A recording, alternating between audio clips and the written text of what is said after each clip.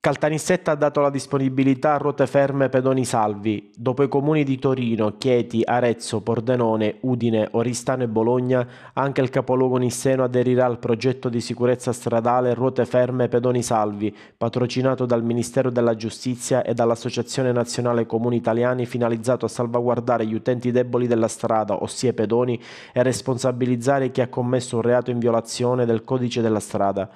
Nel corso dell'ultima seduta del Consiglio Comunale è stata approvata all'unanimità la mozione presentata dal capogruppo della Lega, Oscar Aiello, con la quale il Consiglio ha impegnato il Sindaco e la Giunta a firmare un protocollo d'intesa tra l'Associazione Familiari e Vittime della Strada, il Corpo di Polizia Municipale Nisseno e l'Ufficio Locale di Esecuzione Penale Esterna di Caltanissetta. Con questa adesione, ha dichiarato il consigliere Aiello, che ha violato il codice della strada principalmente per guida in stato di ebbrezza alcolica o sotto l'effetto di stupefacenti, sarà preso in carico dall'ufficio locale di esecuzione penale esterna e dopo un corso di formazione entrerà nel ruolo di assistente pedonale che adeguatamente formato dagli agenti di polizia presidierà gli attraversamenti pedonali davanti le scuole o in qualunque altro luogo di aggregazione sociale.